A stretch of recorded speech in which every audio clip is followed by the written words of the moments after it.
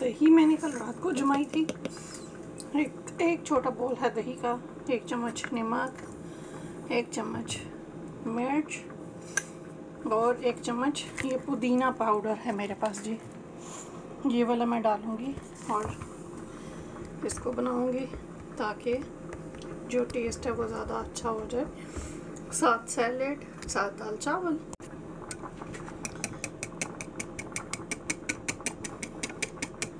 Simple और easy test कर लें अपने नमक मिर्च के हिसाब से. परफेक्ट नमक भी ठीक है. थोड़ी सी मिर्च और ऐड करूँगी ताकि थोड़ा सा चटपटा हो जाए और. ये देखें जी. ज़बरदस्त हो गया. बेहतरीन. ये लें जी. माशाल्लाह से हैप्पी मील रेडी हो गया.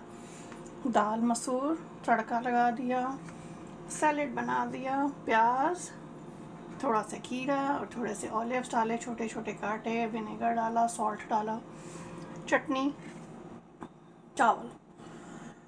हमारा सबसे अच्छा खाना। Nothing is better than dal chawal seriously अल्हम्दुलिल्लाह, अल्लाह का शुक्र है।